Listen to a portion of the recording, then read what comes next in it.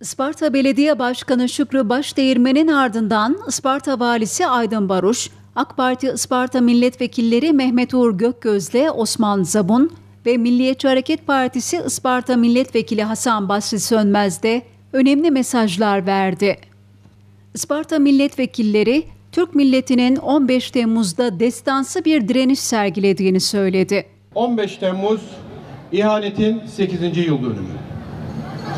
Şehitlerimizi anmak, milli irade ve zaferimizi kutlamak üzere bir aradayız.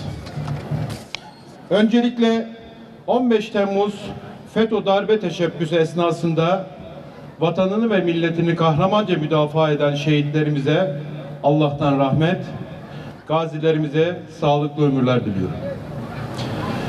Bu darbe girişimi hükümeti, topyekün devleti, Türk milletinin milli, ida milli idaresini hedef almıştır.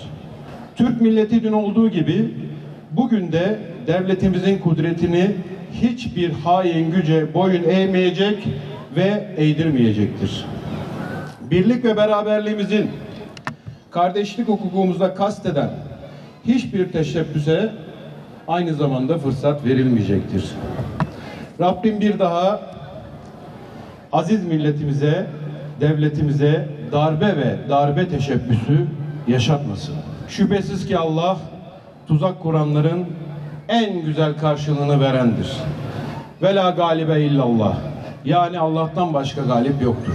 Bundan tam 8 yıl önce bu ülkeyi arkasından vurmak isteyen, bu ülkeyi bölüp parçalamak isteyen, bu ülkeye ihanet eden, ağa babalarına hizmet ederek bu ülkeye kurşun sıkan, bu ülkenin evlatlarına kurşun sıkan hain FETÖ terör örgütü ve mensuplarını bir kez daha lanetliyorum. Bu Batı uşaklarının karşısında dimdik duran, ülkesine, memleketine, vatanına, bayrağına, ezanına, birlik ve beraberliğine sahip çıkan bu aziz milletin evlatlarını bir kez daha saygıyla selamlıyorum. 15 Temmuz'da yine daha o sisli ve puslu günlerin içerisinde, zamanların içerisinde hiç düşünmeden, hiç tereddüt etmeden caddelere, sokaklara çıkan ve hainler güruhuna geçit vermeyen 252 şehidimizi ve binlerin üzerindeki gazilerimizi saygıyla selamlıyorum.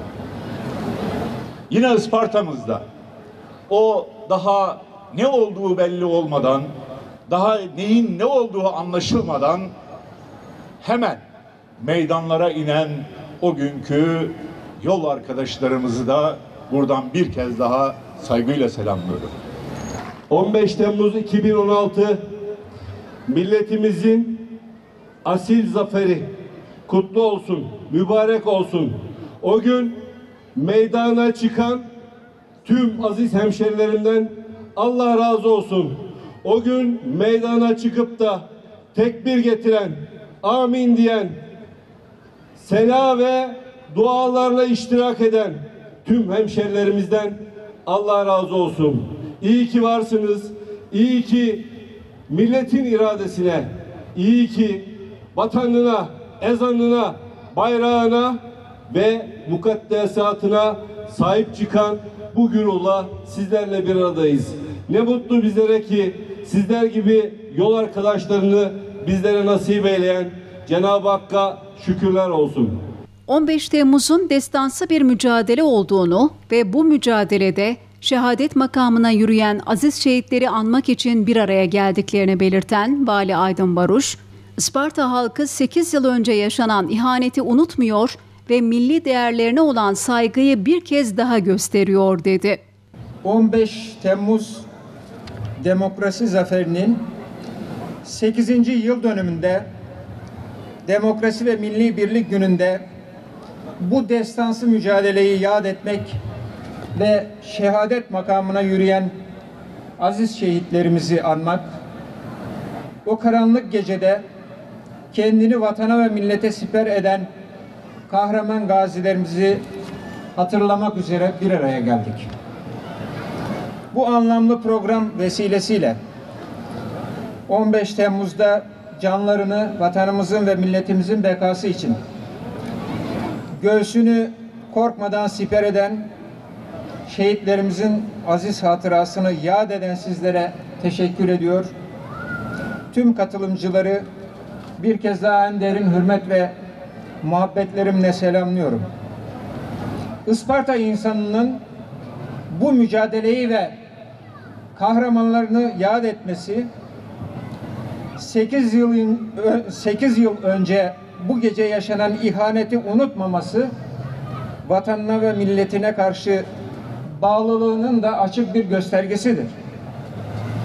Bu meydandaki manzara milli değerlerimize olan sadakatin, şehitlerimizin emanetine olan vefakarlığın, Isparta olarak birliğimize olan inancımızın ifadesidir. Bu manzarayı oluşturan kıymetli kardeşlerim, sizleri canı gönülden tebrik ediyorum. Hepinizden Allah razı olsun. Konuşmaların ardından etkinlikler 15 Temmuz Cumhuriyet ve Demokrasi Meydanı'nda sanatçı Ertuğrul Kiraz konseriyle devam etti.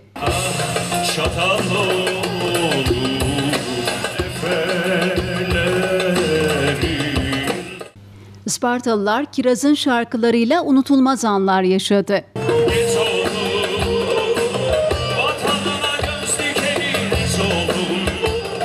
Etkinlikler gece saat 00.13'te tüm camilerden sela okunmasıyla sona erdi.